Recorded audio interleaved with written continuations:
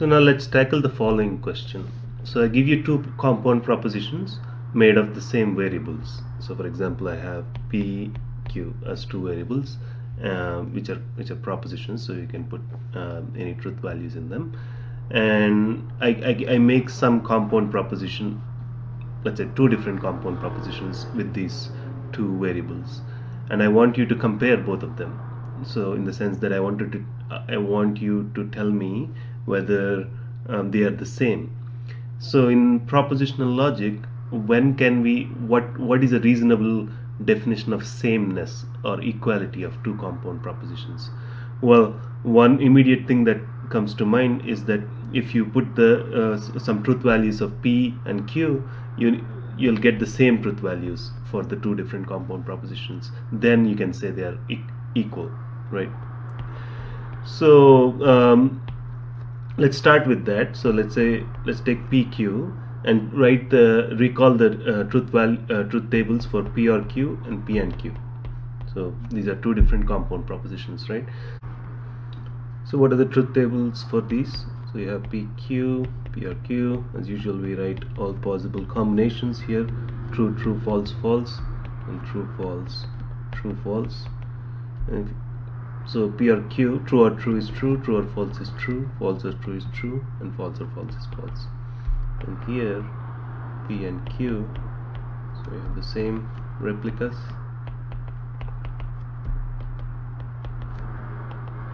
Right? So P and Q is true only when both are true. So in rest of the cases they are just false. So you have two truth tables for these two. So obviously uh, when uh, for for three different combinations of P and Q, um, clearly these are these are different, right? So if you, uh, except for okay, I'm sorry, it's not three different combinations, but two different combinations. Uh, false, false. So false and false and false or false both are both are false. So when when it is true false, P or Q is true. When it's false true, P or Q is true but it's false in both such cases right? So clearly p or q and p and q cannot be equal in the sense of propositional logic. So let's make this precise by writing the def by writing a definition. So the definition is as follows. So we say two compound propositions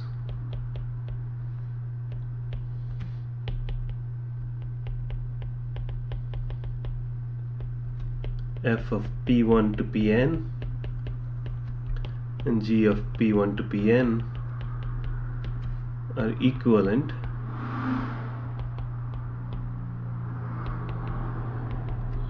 If um, for any truth values of p1 to pn F and G. Um, give the same truth value.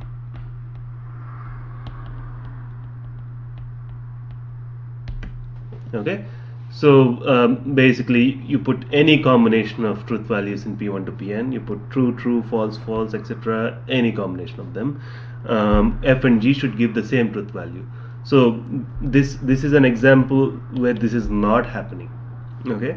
We have seen an example where it was happening in fact uh, in the previous uh, video.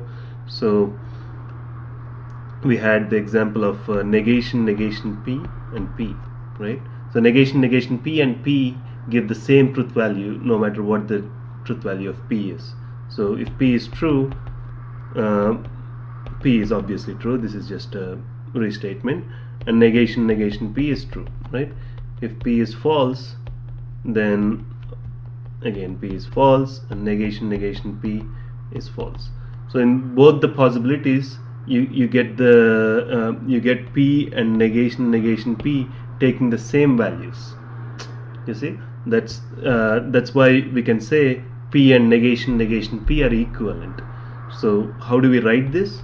We write this as with a with a three um, horizontal lines p equivalent to negation negation p. Okay? So in general if you have f of p1 to pn and g of p, p1 to pn these two uh, compound propositions are equivalent we write this like that. Okay?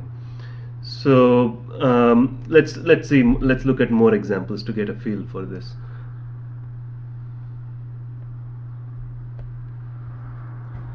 so you have you also uh, saw this negation p or q and negation p and negation q. So I, I claim that these two are equivalent. Why? Let's let's just write the truth, truth table although we we did it before. Um, so pq I have p or q and negation p or q. Right? So remember step by step I need to first write P or Q and then apply negation to that. And then I have negation p negation q. Oops I don't have space here. Maybe I'll write the truth table for this one first and then go to the other one. So let's write this. So true true false false true false true false. So P or Q is going to be true true true false. And negation of this is going to be false false false and true right now let's uh, write the other one maybe I can copy this here let's see if I can do that Oops.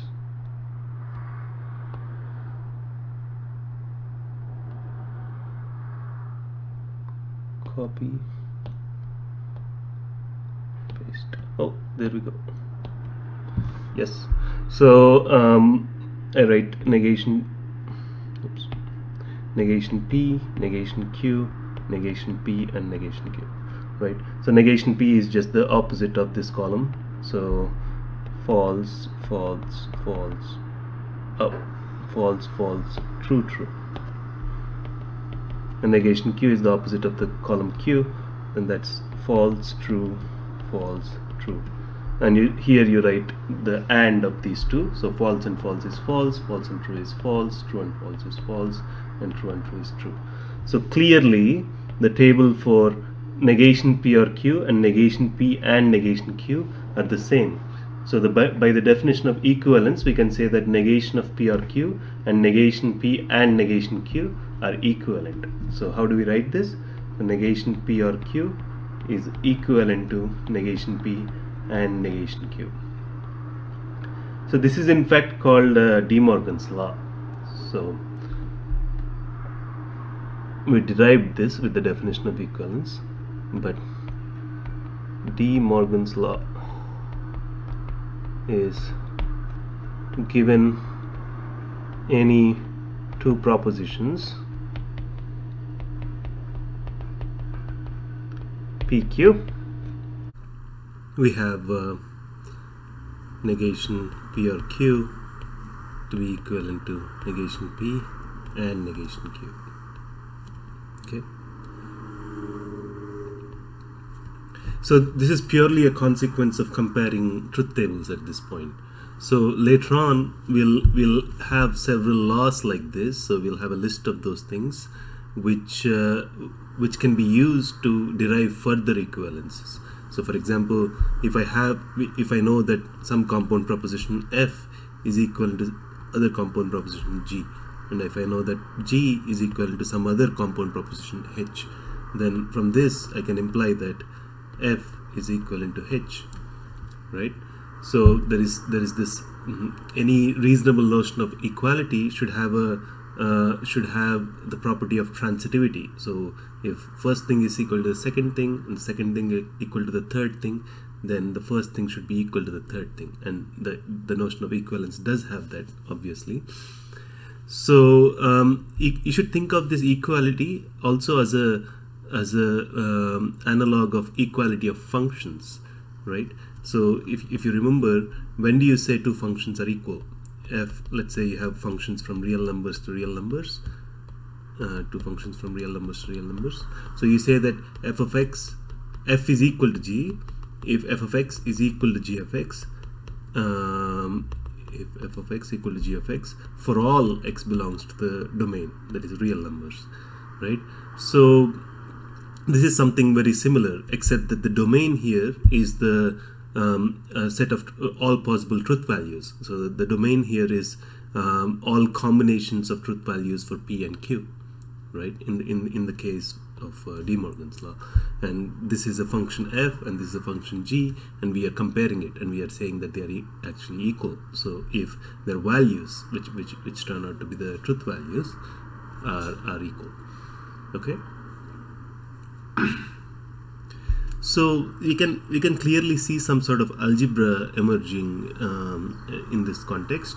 So you have or and as two operations. Or and and are similar to addition and multiplication in the usual algebra sense but there is no uh, perfect analog for negation in the usual algebra and that's what sets propositional logic apart from the usual algebra. And uh, to formalize to formalize this uh, we can um, introduce the notion of Boolean algebra and propositional logic falls as a special case of Boolean algebra in that in that context. Or you could even say it's a model for Boolean algebra. Um, but we'll get to this uh, the de details of this. We'll actually exploit the algebraic nature of of uh, these these operations uh, later on in the course. So when we study Boolean circuits and Boolean algebra okay so let's look at a bit more um, a few more examples of this. Um, let's say I have instead of negation p or q I have negation of p and q. Now the tables are turned and I would say this is equivalent to negation p or negation q. Again this can be checked using uh, using um, truth tables so you can write truth tables for negation P and Q and the truth table for negation P or negation Q. If they're exactly the same, then you can say that they're equivalent. So if you have P, Q, um, so let's write the truth table for this guy, the P and Q and negation P and Q, right?